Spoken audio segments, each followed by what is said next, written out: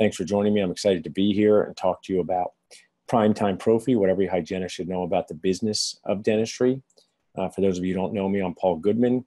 Uh, I have a website, dentalnachos.com, a large Facebook group, Dental Nachos. I'll tell you a little bit about myself as we go along here. Uh, this webinar is for you guys and for you to get questions answered, things you're thinking about if you're a hygienist, office manager, dentist, and how the role of hygienist and hygiene is changing in general practices um, pretty much every day. It has been over the past couple years. Some of these changes uh, seem new, but they've been in place for a while, or there's been signs of this happening for a while. So you can submit your questions Evan, and we'll answer that in the second half of the webinar. So I like to start off talking about you know, what's the life of a dentist like? What's the life of a dental team member versus Daphne? Daphne is currently uh, three and a half, almost four years old. But when she was a baby or almost one years one year old, this was uh, part of her life was like this. When she would see uh, parents' dogs, she would be happy, excited. It's a little bit like being a dentist or a dental team member when things go well. Patients are showing up on time. Uh, people are paying. Lab cases are there. The team members are getting along. Everyone's uh, being nice to each other. But one of the hard parts about working in a dental office uh, is that it can change in just an instant and turn into this. So, my sister, who is the parent of three children, said, you know, children are very emotionally labile, and I think the dental offices are the same way. So I, you know, understand if you are working in a dental office every day, whether it's just three three human beings or 30 human beings, I know it's not easy because I'm doing it too. And everybody's in close quarters. Uh, a lot of the patients, most of them really don't want to be there. So how can we make our life easier? How can we hopefully do things to make ourselves happier each day, or at least what I kind of say in the dental office, less annoyed. So when people ask me if I'm happy or what does it mean to be happy.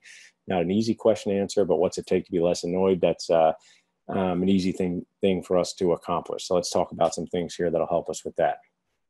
So this is our dental office in Pennington. That's my brother Jeff Goodman. Uh, it's a family practice, has been in place for over 60 years. We have uh, multiple general dentists, a periodontist, a dentist who does sleep apnea.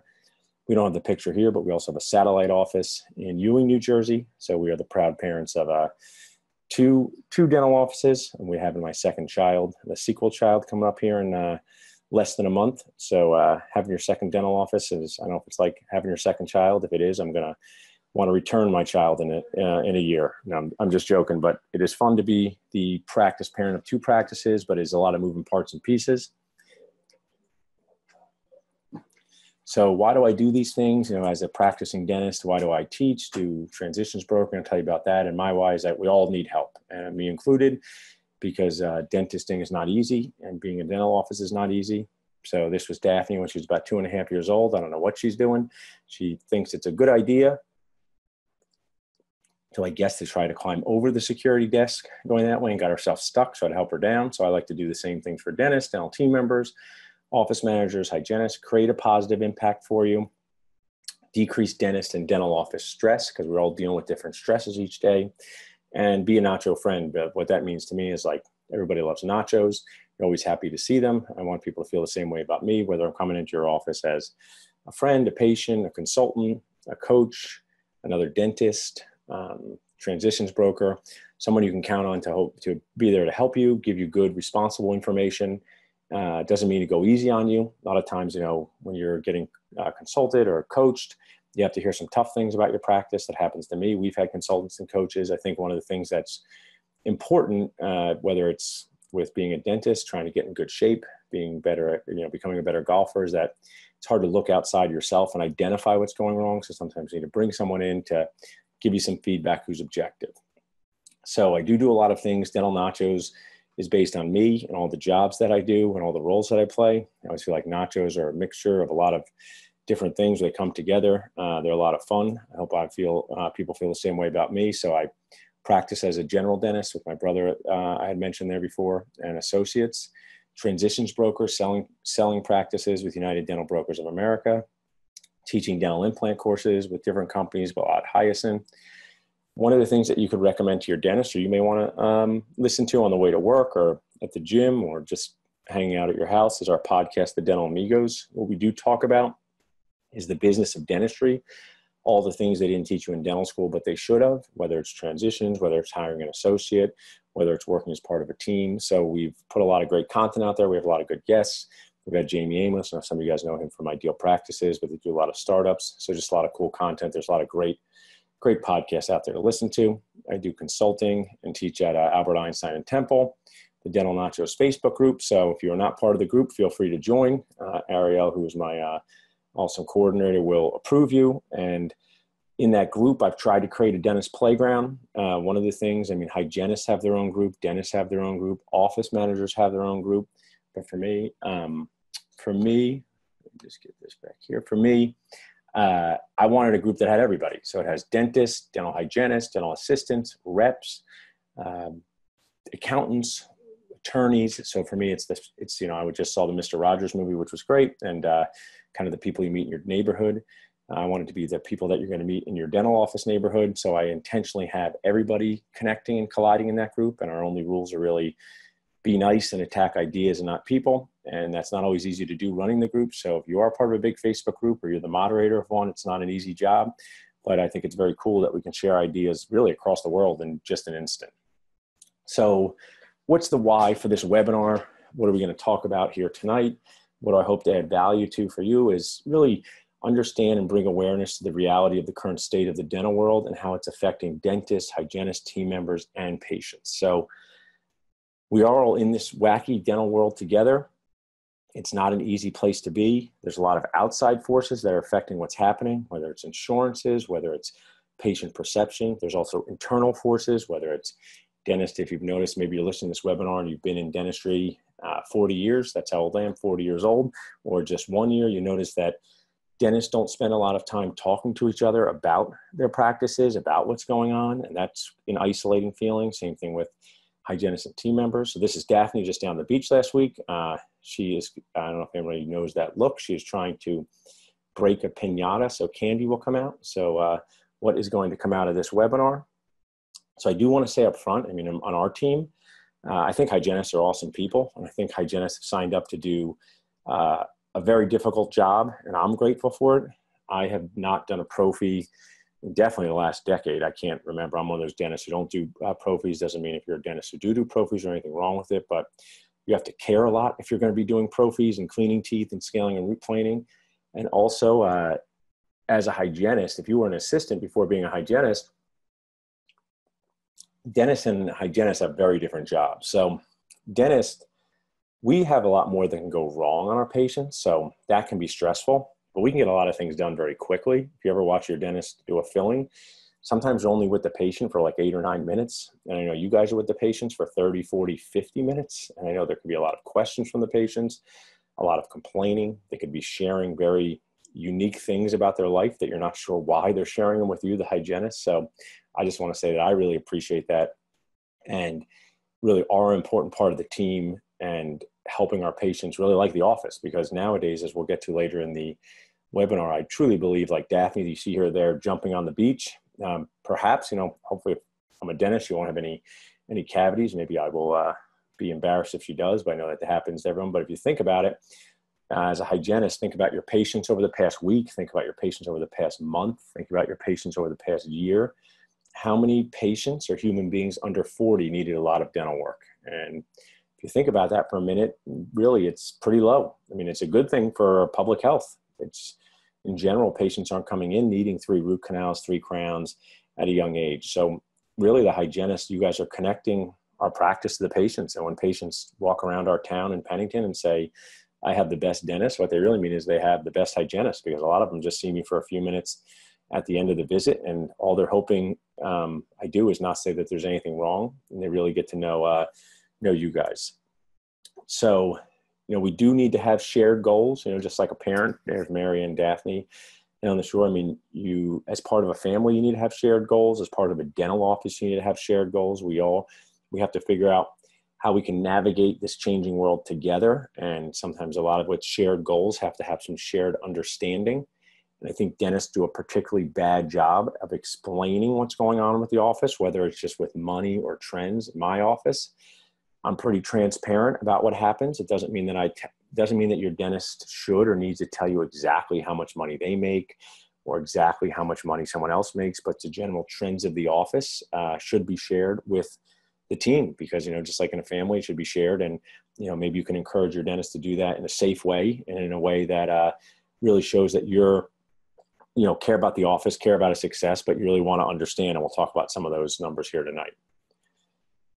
One of the things I was asked in preparing for this, you know, uh, webinar is how hygienists can be more valuable to their uh, office. And I think as the changing nature of the, the I think the hygienists are what the hygienists do is going to change. I think relatively dramatically over the next decade because the cleanings that you do are probably going to get a lot easier on patients who have healthy mouths. But then you'll be seeing patients who are older who have been living a long time. And you see this now where at the end of their life, they're getting cavities because why are they getting cavities at age 85, you know, or age 80? They have less saliva. They have medications that cause decreased saliva.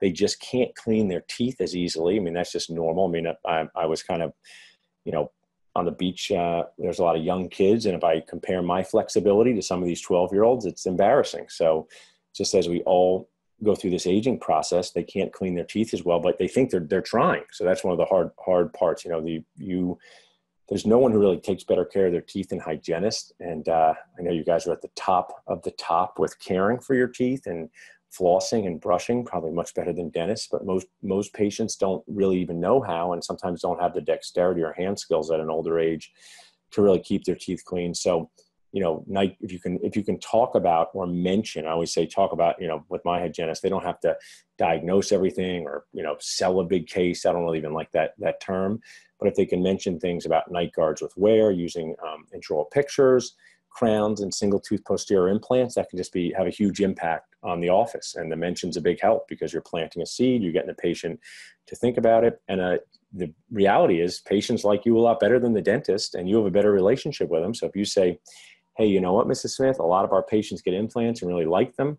And yes, it is expensive, but they think it's worth it. That's a great soundbite. So, you know, if you want to just a take home nacho tip, if you just insert uh, procedure and say, hey, a lot of our patients uh, need night guards because they want to protect their teeth. You don't want to have to replace all your teeth when you're 60 or 70. Uh, when I was young, a younger dentist, I would say, uh, you know, you don't want your teeth to wear down. You're going to need crowns. You're going to have to, you know, you're not, your bite's going to collapse. No one really cared about that. So now I say to a 45 year old with where I say, well, when you're 65, what would you rather do? Uh, get new crowns for $40,000 or go on a great European vacation to Paris or France? And they say the vacation. I say, okay, well, get a night guard. And then that's kind of holding out, you know, they say people can only be motivated with a carrot or a stick. I say like carrot, who wants a carrot? It's kind of boring. So you can either be motivated with nachos or a stick.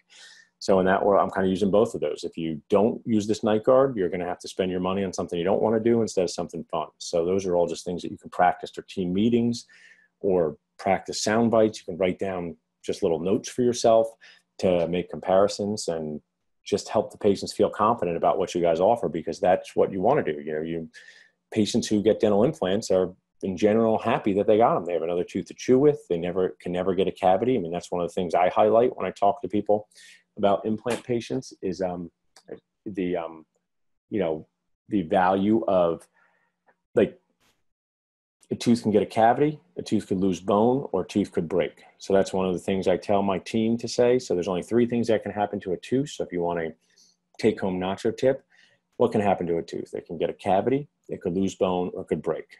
And if we look at this picture here, and we have two natural teeth and a dental implant, the natural teeth can get the cavity, it can lose bone, and it can break. But the implant, no matter what happens, cannot get a cavity rarely loses significant bone. So I know sometimes your hygienists have been working for a long time, see dental implants with bone loss, but they're stable. And can they break? And not in general, they don't. You know, there's there's small problems that happen with them. Doesn't mean implants are perfect. Doesn't mean that nothing goes wrong with them. But if you look in patients' mouths, they have a lot more trouble keeping up with teeth long term in their 70s and 80s. So that's just something that you can suggest, recommend, mention uh, about posterior implants.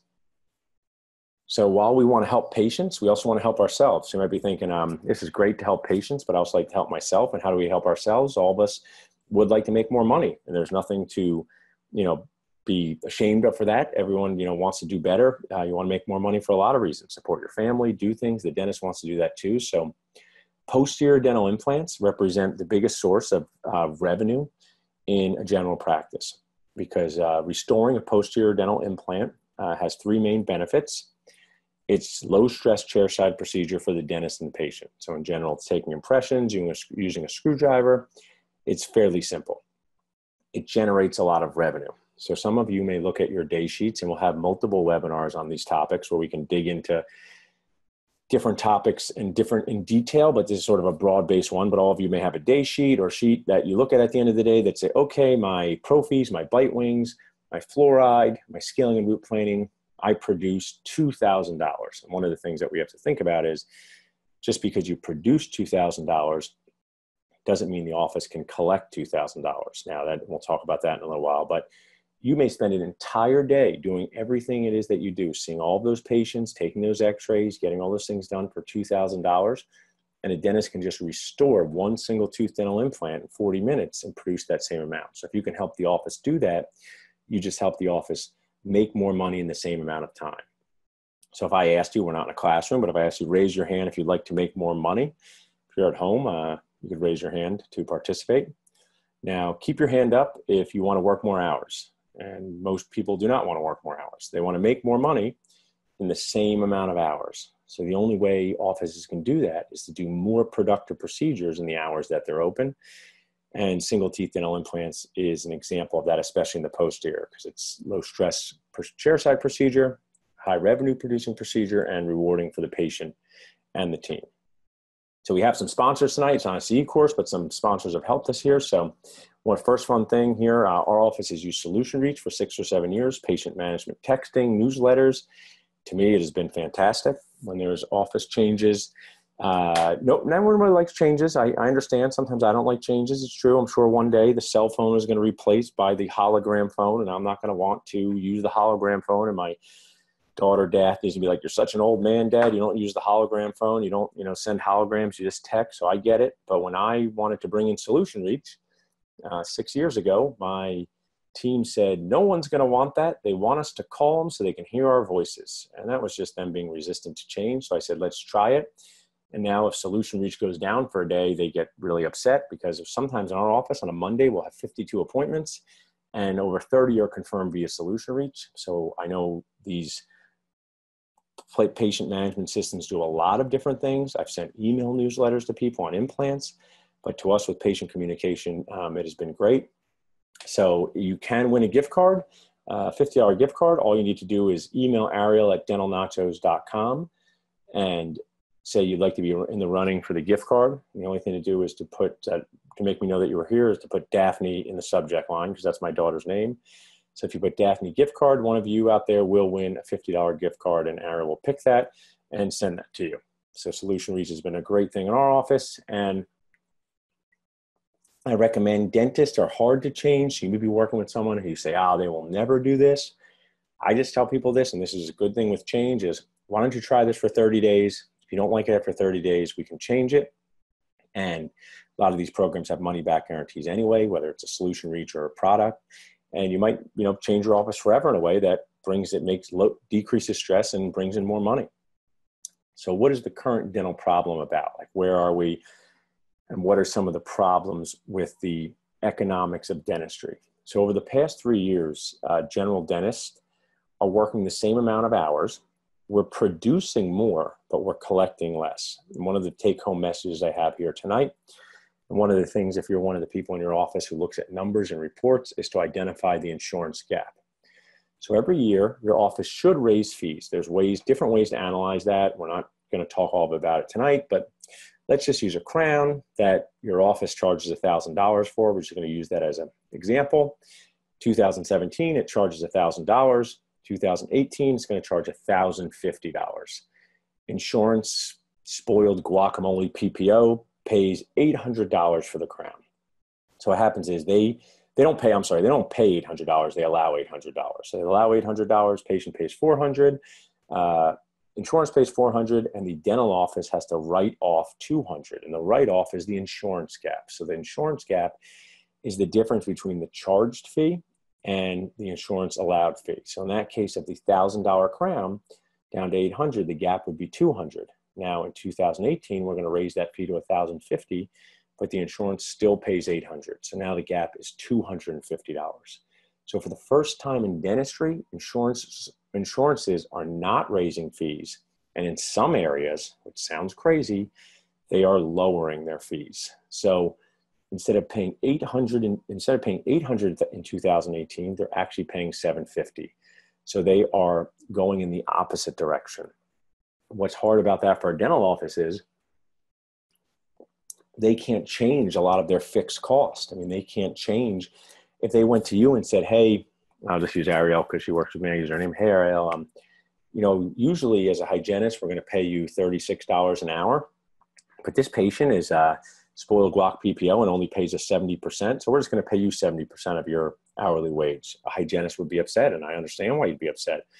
But one thing that you can maybe just uh, relate to or sympathize, empathize, whatever the right word is, with your dentist is they have all different hours. If they're doing a full fee crown, maybe they're getting $1,000. If they're doing an insurance one, it's only 650 So they're working for 65% of what their list fee is.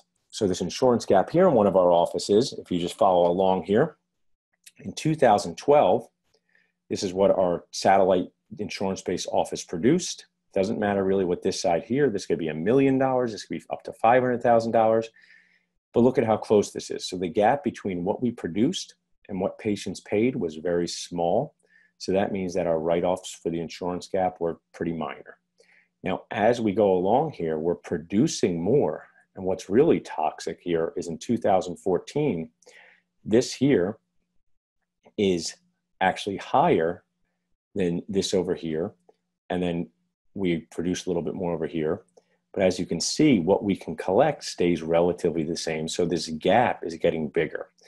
So we're producing more, we're collecting less, and that's really causing a big problem for dentists and their way they're running their offices because the insurance gap is dictating what they can charge, and they're not able to really get that difference anywhere else. They can only get, you know, they can't really pay their staff less, they can't pay less for supplies, they can't pay less for rent.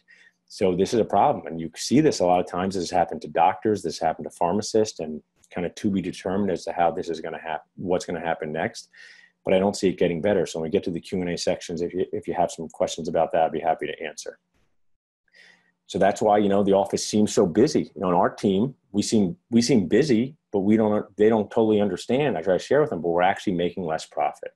So being busy does not indicate how much profit you're making because when we're busy and you're those of you who've been dentists for um, been in the dental field for a long time busy usually just means crazy. It means there's emergencies coming in, patients are back, backing up. But you know, those of you who've worked with maybe a dentist who does a lot of crowns or implants, a lot of times when they're doing big cases, it's very calm. And you know, placing two implants, restoring implants, that's when it's calm and productive. Uh, unfortunately, when it's busy, it's kind of unproductive because we're doing a lot of little things trying to catch up, especially as general dentist.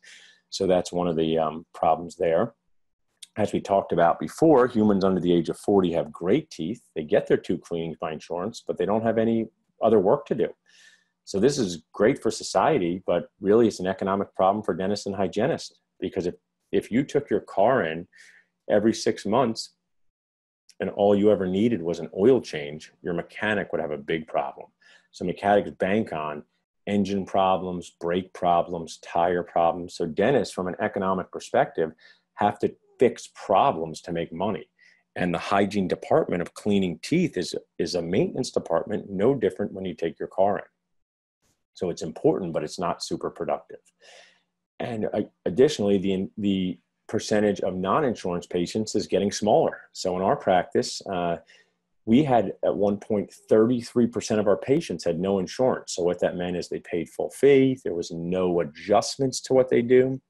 And now we're down to, I think, under 15%, maybe 15 to 16%, because everyone, insurance is a buzzword. As you guys know, they talk about insurance, and dental insurance isn't insurance. One thing I tell my team to say is that instead of saying dental insurance, it's like a dental coupon. Because when you go to Bed Bath and Beyond, you don't expect that coupon to get you everything in the store. But people come in and they need a crown and they need a root canal, and they say, I don't understand why my insurance doesn't cover it. And that's because medical insurance is insurance if you have to go to the hospital and there's a hundred thousand dollar charge, you max out at two thousand, and your insurance pays the rest. Dental office, it's totally the opposite. You could have ten thousand dollars worth of dental work, and uh, the insurance will pay fifteen hundred, and you're on the on your own for the rest. So maybe for some of you that have been working for many years, and this is kind of you know just totally nuts. Uh, the insurance maximums haven't changed. I mean, in the 1980s, when it was $1,500 maximum, that would pay for about three crowns. Nowadays, that would, you know, to keep pace, we should have about $4,000 maximums, $5,000 maximums. But most of you know who process insurance, they're still 1,500 to $2,000. So what insurance can even get the patient is a lot, lot less. So I use it like this 40 years old, trying to stay in shape, dad, busy dad, doing things. It's like if you were on the treadmill eating ice cream, you would not be getting more fit. You would not, it kind of sounds fun to do. I might want to be on the treadmill eating ice cream, but it would not be a good, good for my um, exercise routine. But that's kind of what we're doing in the office. We're working hard, but the insurance is packing calories, more calories into our, you know, food, if you want to use food as the reimbursement, and we're not making much progress. So we're trying to get in summer shape. It's the summer, but we're gaining a few pounds and we're not quite sure what to do because we're all trying hard and we're all busy and we're all doing stuff, but it just doesn't seem like we're getting the results uh, that we need. Some of the things that some of the companies that I partner with, another one is LocalMed, and you can um, email email Ariel for uh, information on that. That's been one of the best things that we've done because this is just this magical patient scheduling system where we've been able to get new patients, reactivate patients. So if you're in an office where your schedule's not that busy or they're still sending out just postcards, not that there's anything wrong with a postcard, there's just ways to reactivate patients that you need to see and bring in new patients to the office. And new patients usually come in at a time where they may have some acute dental care if they haven't been in for a while. Not that I'm hoping they have that, but it might be an opportunity for that for the dentist to do more work. So uh, that's a company that I uh, uh, work with and have a referral relationship with, LocalMed. And most of the people, if not every person I've referred to them, has really been satisfied because it allows patients to schedule directly online, not request an appointment, actually schedule it. And you will see people are scheduling dental appointments at very odd times of the day because I will get a I get emails about them and at 4 a.m. someone's scheduling their cleaning or at 1 a.m. So people are thinking about the dental office at weird times and they don't want to call up and talk to someone and say, can I come in at 2? Can I come in at 10 a.m.? Oh, you want to do Wednesday? They just want to go online and uh, schedule. So why patient, why dentists are seeing more patients and making less? Uh, we're going to get to some of the questions you guys put in. And then we're going to do like some of your Q&As in the chat. So I've, I've accumulated some questions and one of the questions submitted for this webinar, why are dentists seeing more patients and making less profit? As we've talked about, dentists can be producing more, dentists can be raising their own fees, but insurance companies are not keeping pace and in some ways are going in the opposite direction. So this gap is causing us a big problem. How the impact of PPO insurance is making it difficult slash impossible to give hygienists pay increases or raises. So I know some of you are sitting there thinking like, I would like to get a raise, I deserve a raise, I work so hard. And I, your dentist would agree in feeling. I mean, they would say, you are working hard and we do like having you in the office, but your dentist is likely not only are they not getting a raise themselves, they're taking a pay cut because when the office, the dentist has to pay all the bills that they always pay, take care of everything before they're paid. And when there's just not enough left over for them, sometimes they might not take any money to payroll. Now, it doesn't mean they don't make any money for the year, but uh, if you look at the accountants and you look at uh, statistics and you talk to them, the dentist income, what they're making is actually declining. And that's not easy on a dentist because, as you see, running an office takes a lot of work, a lot of stress, a lot of decisions, a lot of things go wrong. People have to call out, people's family sick, people have challenges, and it's just a lot of behind the scenes effort to run a dental office. And the dentist would like to make more money too as part of a reward and feeling good about themselves, but the PPO insurances are really making that difficult to do. How can hygienists make themselves ultra valuable to a dental office? Uh, I think this is a great question asked by some people out there.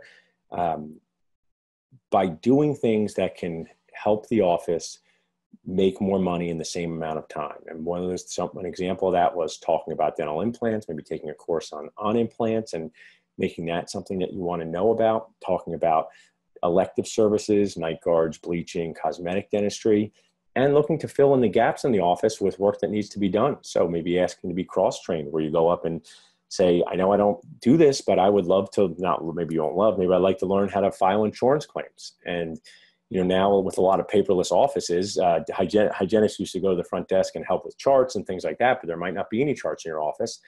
But I think it's really just cool that you can learn some business aspects and you never know. Maybe you'll be an office manager as you get older and you don't want to clean teeth. Maybe you get bored of cleaning teeth. Um, there's you know different companies you could work for as reps so there's just i mean i think hygienist is still a great job and it still gives you a lot of potential but you have this one thing that you do well clean teeth do scaling and root planning and if the patient doesn't show up for an hour what are you going to do to add value to the office uh, there so sometimes there's systems that you can work on and feel free to email me or ariel if you want some more specific examples so i'm going to do uh, one more thing here and then we'll take some chat questions i have some more loaded up too so in-house financing, in-house savings plans is something we've adopted in our office. Uh, Kleer is an example of that. Also, uh, QDP was one that we're familiar with. Um, recently, I've been trying to embrace Kleer because Kleer allows the patient to pay monthly for their in-house savings plan.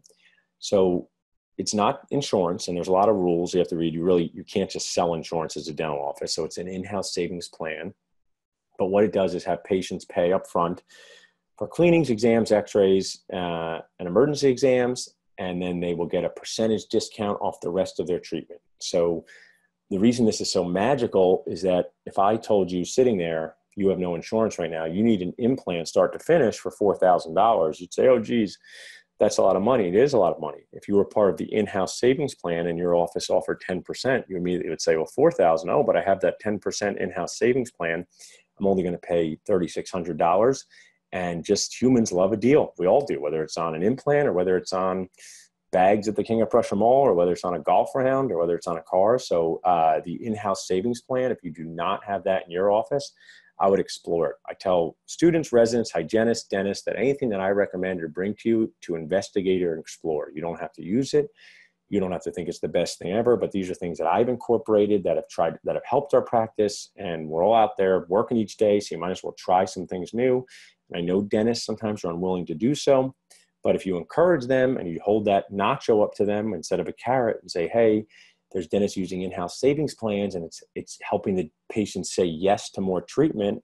It's helping them come in for their recall visits regularly. I'll look into it myself. So one of the things i would love for my team to do if they brought this to me and said i would like to do Kleer it's a free demo let me learn about it the dentist sometimes says oh geez another thing that i have to think about. So then you say i'll look into the whole thing for you. And if you look into the whole thing for them on uh, it, when you don't have a patient, or sometimes you might just look into it on your own time. And I know it's, you know, you think, oh, you know, why would I do something on my own time for the office and not get paid? Because sometimes it helps you. And, you know, it's not that difficult to do. So, it, you know, usually there's time during office time to do that, but maybe it's sometimes you'll do a demo yourself, you know, during a lunch break. And uh, if you bring something like that to a dentist, they don't forget if it turns out well. And that really just is a, a great thing to do, positive contact uh, for the office. So let's, uh, take a break here and go to your questions in chat. Evan may have accumulated some, and I have some more questions we can go over for the last uh, 25 minutes too.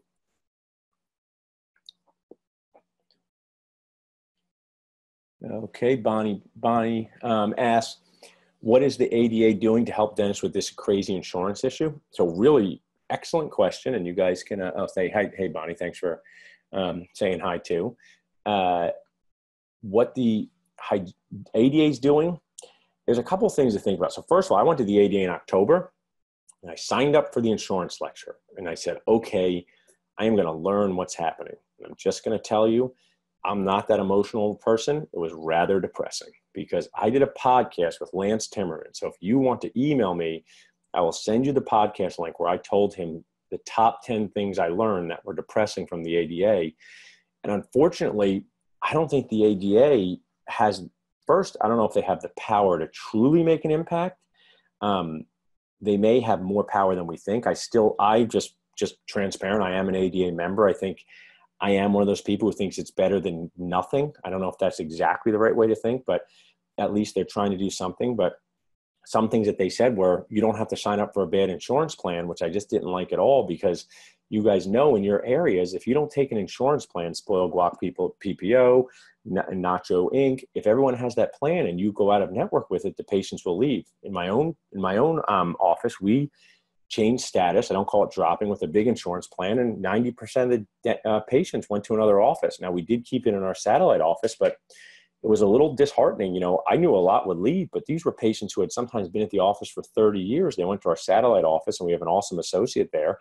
But they said, "Oh, if my insurance takes is taken over there, I'm going to go." And it's a little scary because that means that they're following their insurance more than the dentist that they know, but that's just how they've been conditioned. So the ADA, uh, I don't think they're doing themselves a favor with their PR because they're not even they're not even really sharing what they're trying to do. There may be some things they're trying to do, but I don't hear about them. I mean, I see like uh, uh, what is it like the pecan is advertised on the Super Bowl, and seems like whoever's in charge of the pecan, they're getting good PR for that. We need something like that, some really good direct to patient advertisements. But it's a it's a political organization with a lot of different moving parts and pieces. So, good question. I, I I'm not really emboldened by what the ADA is going to do over the next five to ten years, but I will stay a member for the time being. But good question, Bonnie uh, when is the best time to ask for a raise? So that's a, that's a really good question.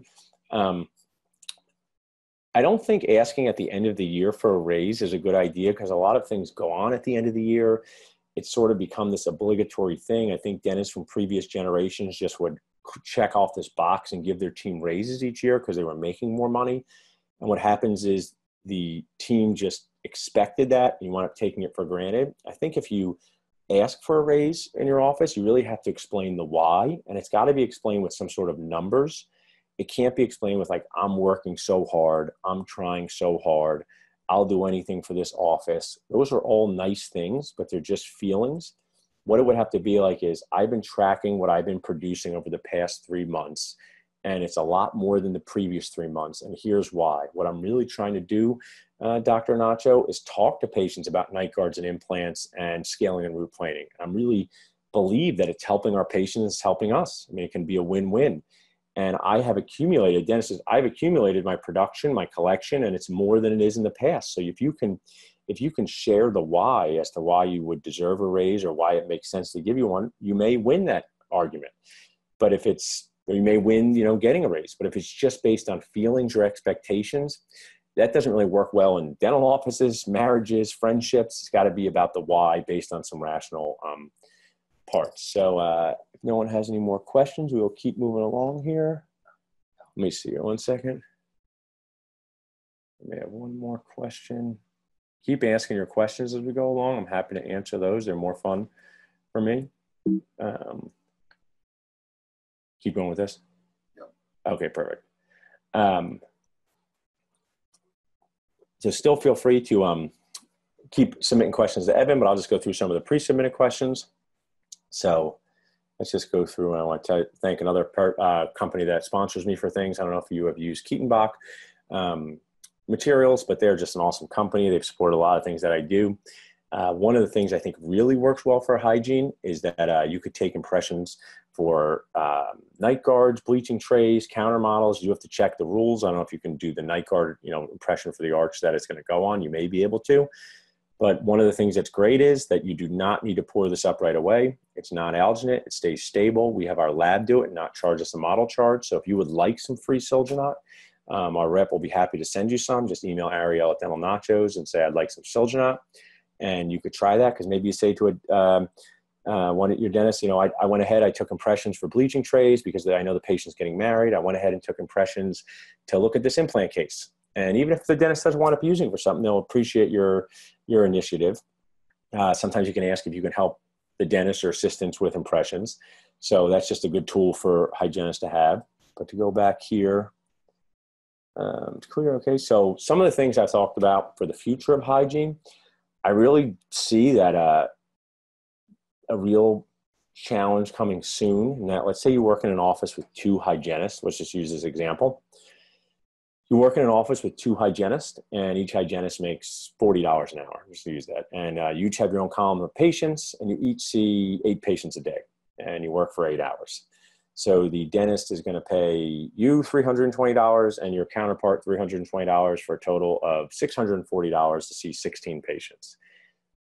I do see uh, coming down sooner rather than later is giving hygienists two rooms. Some of you may say, oh, that sounds great. I like to have two rooms, but it comes with a cost because maybe you'll get a $16 an hour assistant and you may have to see close to 16 patients. You may not have to see all 16, but I, I do see that they're in, a, in, a, in an office with good systems that the hygienist could see the patient for 30 minutes, only do the cleaning, not do the other things, have the assistant do the other parts of it, and it wouldn't be as good a service as you do now. You wouldn't know the patients as well. But if you think about it, that dentist is going to pay you $320 and is going to, and going to pay the um, assistant $108 and is going to save over $200 a day on paying a second hygienist. And then if you take $200 a day and multiply it by $200 for the year, the dentist is going to save $40,000 and possibly not, you know, just have a total profit on that. And that's not easy though. I mean, I wouldn't, don't think it would be easy to clean 16 adult patients' teeth in a day, but I see a real issue with if you're a hygienist and you're used to getting an hour per patient and insurance is reducing the fee, what is the office going to do to try to keep to, to survive? And I think working out of two rooms may be um, one of the answers. Maybe some of you guys do that now. Is there any another new question? Let me see. That was that was going. Does that mean there's a question? Let's see here. Okay, gotcha. How many hygienists do you employ? Just wondering, how much time does your hygienist get per patient? Good question. Thanks, Bonnie. Um, we employ at least four hygienists in different capacities, and we have, it's a good question. In our fee for service office, uh, they get 60 minutes per patient. And in our satellite PPO office, they get 45 minutes. In our satellite PPO office, one thing that I did when I came into the office, we have a roving dental assistant. I believe that hygienists should stay on time all the time. It's hard to do it by yourself. So we have a roving dental assistant dedicated to helping hygienists with instruments, um, seating patients. It's the most important thing to me in my practices for hygiene patients to be seated on time. And the hygienist uh, should be focusing on the things that only the hygienist could do, talking to the patients about the procedures, um, recommending treatment, doing their hygiene work. So I know a lot of offices aren't like that. Someone asked a good question. I think a floating assistant is great, but some dentists don't see that. Uh, the floating assistant does more than just help hygienists. They you know, help dentists. They help with a lot of ways, but uh, we employ about four to five hygienists and 60 minutes in our fee for service office, 45 minutes in our satellite PPO. Yeah, I love the roving dental assistant. I do too. We can't operate without it. Um, I believe every any office that implements a roving dental assistant is gonna is going to um, um, going to make more money and decrease stress over a year. But initially, it is an expense, and dentists sometimes I call it dentist cheap. And uh, dentist cheap to me is that they say something's expensive, but they don't look at the total picture. And they might say, I don't want that Silginat material because it's more expensive than alginate. But if we did a cost study, it's going to save them money. They don't want to see that cost study. They just want to be dentist cheap about it. So I call dentists out for being that way, dentist cheap. And it's not an easy battle to uh, do, depending how well you know your dentist and comfort level. You may start to encourage them to think about some of these things. Uh, some other questions, why not use the in-house plan to get monthly payments for patients rather than patients paying for insurance, cut out the middleman? Great. It's a great question. I do think that can happen over time. Two th- well, first of all, I think adopting an in-house savings plan is a good idea. Whether you use QDP, whether you use Kleer, whether you do it yourself, I don't recommend doing it yourself for this reason. Some dentists say, I'm not going to pay a company, I'm just going to do it myself.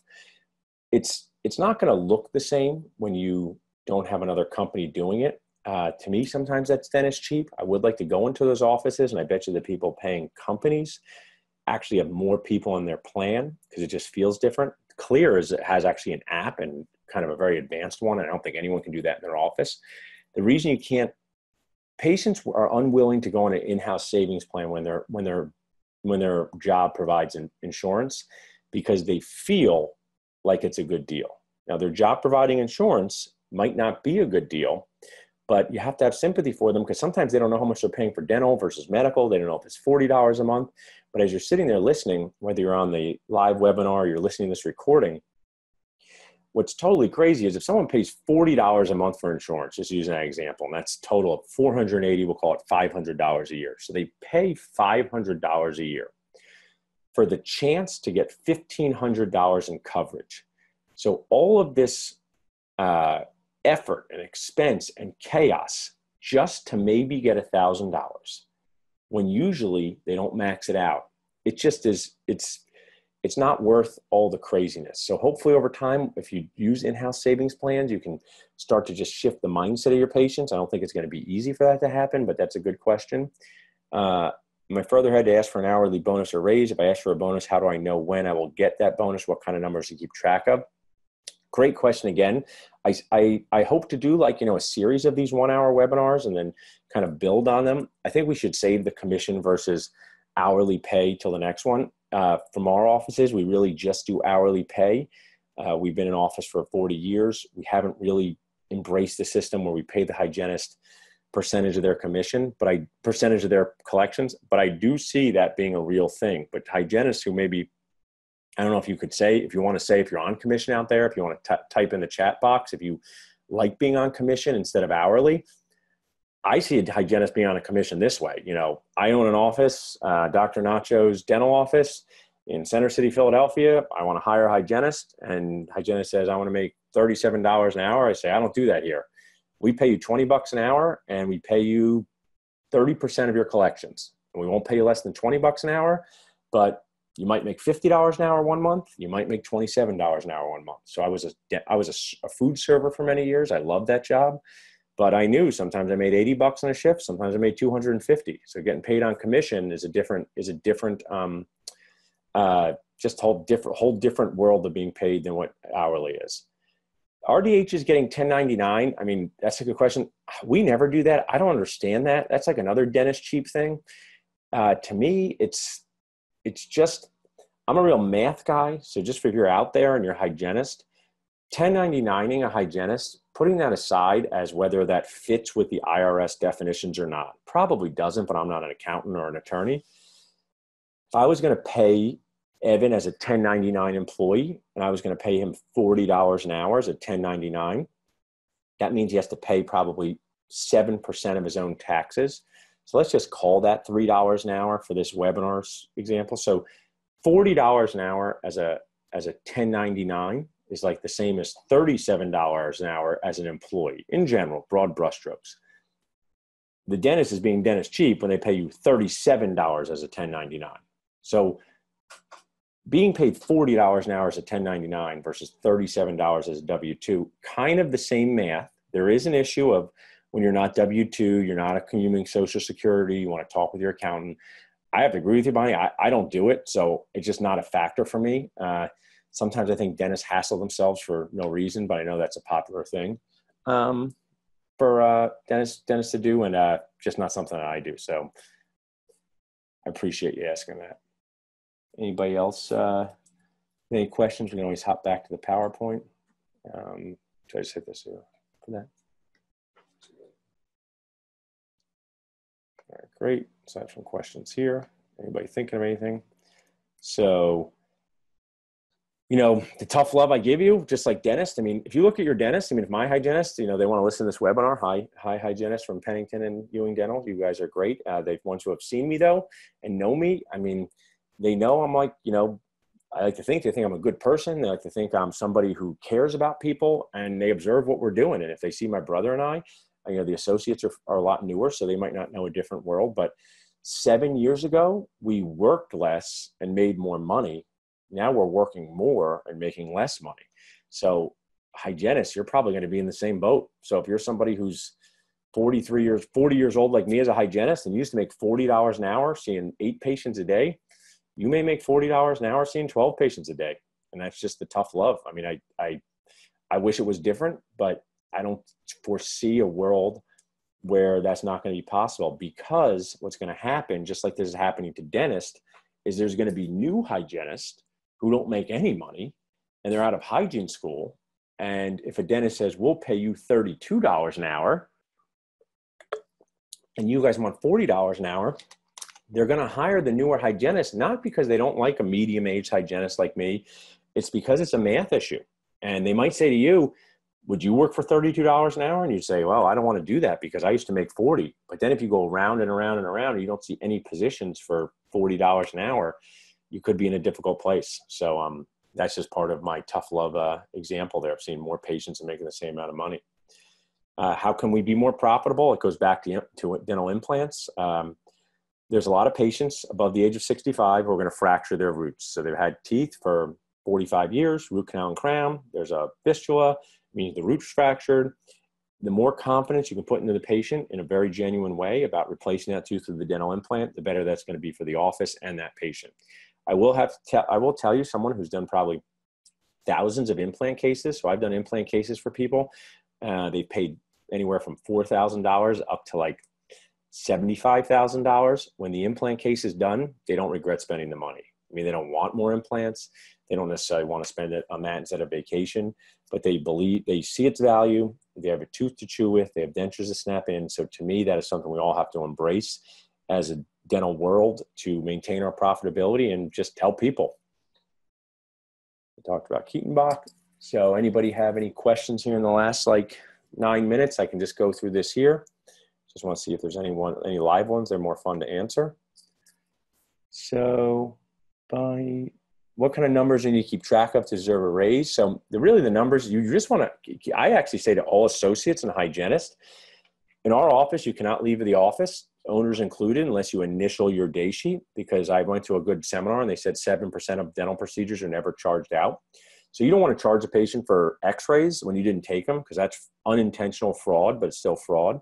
But you also don't want to not charge for x-rays when you did take them so we initial our day sheets, and I would keep an I would keep a copy of all of your day sheets. You know, there's probably HIPAA, HIPAA issues. You don't have to keep the patient's name, but I would keep a, a copy of your production, and then sometimes ask and say, "Hey, let me see what happened with these patient numbers." I mean, in our satellite PPO office, if you're listening, uh, we might charge two hundred dollars for a hygiene service, like two hundred dollars, and the insurance only allows us to collect hundred and seven dollars and I mean, it's it's a really big problem because we're definitely not making money on that.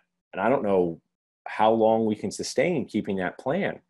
And when you start dropping insurance plans, it actually hurts the hygienist the most because you start dropping busyness and you start dropping cleanings and hygienists might start losing days. So it's very difficult. Sometimes dentists, and maybe you guys will have seen this, they could rearrange their office from four days, from four and a half days to three days, and the dentist could make the same amount of money. But as a hygienist, you're paid for four and a half days, you only work for three, you're not going to make the same amount. So that's a really a big challenge. Uh, I do. I've learned. I've done implant placement since 2002. I teach courses. I get to teach people uh, how to do their first implant. Uh, so a lot of the implants I get to uh, joyfully be part of placing now are through people placing their own implants because we have an in-house periodontist. So I always say this if you're a general dentist placing your own implants, it's awesome because you're going to place, let's say, 50 implants a year. Uh, but if you have an in house specialist, the office will probably place over 100. So the in house specialist usually wins in that scenario. But I come from a background of doing a lot of implants, so I can how to talk to the patients, to tell if they need a sinus lift. So I, I mean, I love teaching implant courses. Ariel and Evan know um, courses I have coming up your dentist, they take sometimes a $5,000 course on how to place implants and how to talk to patients. They can add another 60 70 80000 dollars of production so i'd encourage your dentist to do that because patients want it whether patients want is a strong word but patients need it and then they're happy that they have gotten it done so a good question there uh, bonnie so in the last like five minutes here you guys can still throw up some more questions um, and this here we're good here i'll go back to the presentation so we went over as a hygienist, when should I ask for an hourly raise? How do I know if and when I'll be able to meet that bonus? Uh, let's save that for webinar number two. Uh, what numbers are going to keep track of? Uh, we talked about that. In general, it's what you're producing, what you're collecting, what the insurance write-offs and gaps are. What kind of questions should you ask at a review? Some of the questions should be about you and some should be about the office. You know, what direction is the office going in? What are some things that the office feels are challenges? What are some things that we're doing well? uh, how can i help create a better culture you know a lot of times i know it's not easy but you know the the culture in the office can just become negative and stressed and if you're someone who's not contributing to that i do have to say you know even if my whole team was here listening that our hygienists are actually the least dramatic people in our office so i appreciate that but the reason i think that is is because hygienists in general have their own room and they have their own place to go to for I don't know, not quiet time but they have their own place to go to get away from everybody. But you know, the assistants in front desk, they're kind of right in the line of patient fire all the time. So you have to think that's not easy for them. They don't have a room to, you know, they're done 15 minutes early and you can kind of go into your room, organize stuff, take a breather. But uh, our hygienist calls very little, little drama for us. And I appreciate that. Uh, is it illegal for dentists to band together and as an entity refuse to participate with certain insurances until they fix their horrendous reimbursements? Yes, it is illegal. Unfortunately, uh, this isn't necessarily a dental law. It's called collusion. We can't all get together and fix fees. If you just want to know something that's even crazier, the insurance companies legally can share fees. So they can say, hey, we only paid $50 for a prophy. And the other insurance will say 50, we pay 60 and they can lower to 50. But dentists can't all band together and say, let's drop this bad insurance. So that is really a challenge. Um, dentists don't work well together to begin with, and we're not allowed to really, we're not, we're definitely not allowed to fix fees, but there's nothing to say we can't collaborate. There's nothing to say we can't go to CE courses together, learn things, become stronger as organizations. But as you know, dentists just don't have a, real tendency to to connect with their fellow dentists. And I think that's why we're in the situation that we're in. You know, in a town where there's eight dentists, sometimes the people do not talk to each other for decades, and that's just uh, kind of sad to me. So I do a lot of things with CE, trying to bring dentists together, trying to make dentists be nice to each other. It's not an easy job, but maybe you guys can help me in uh, getting your dentist to come to, to CE and get out there into the world and talk to other dentists. Uh, a few more questions here as we uh, finish up. What do the part-time hygienists, why do part-time hygienists get the not, not get the same benefits? This is really just a labor law thing. So if somebody's deemed part-time, a lot of times that's deemed under 25 hours a week, doesn't always mean that. But let's just use this example. One hygienist works two and a half days a week for 21 hours. One hygienist works four days a week for 36 hours. The part-time hygienist does not entitled to full-time benefits. And they, you know, we have an employee manual in our office. I like employee manuals. It sets expectations. Doesn't mean everybody likes it, but I think employee manuals are important. Uh, but part-time and full-time just have different uh, qualifications. And that's, to be honest, that's why a lot of dentists um, do not hire a lot of full-time team members because they do not have to pay benefits. And in some ways I can understand some of those things because if you just use an example, if you're if you're a full-time hygienist and your dentist contributes to your health insurance $300 a month, that's a $3,600 expense for you that they wouldn't have for two part-time hygienists. Now, I'm not saying that you shouldn't have full-time hygienists. We have full-time hygienists. The continuity of care and getting to know the patients is important. It's just an expense that you have to uh, understand that dentist has for part-time, uh, for full-time employees they don't have for part-time. Why do you have to beg for a raise when you have gone up over and beyond? So I'd say, you know, like saying the words over and beyond, no one really knows what that means. I know what you, you know what it means, but it's just a feeling. So say, hey, this last year I have produced and collected, I produced an extra $20,000 and we collected an extra $15,000. So while I don't think you should give me $15,000, Dr. Smith, is there a way for me to capture more of what I've collected? That's a great way to put it. And say, and then if you say, the dentist won't know what to say. So you say, you know what would make me happy?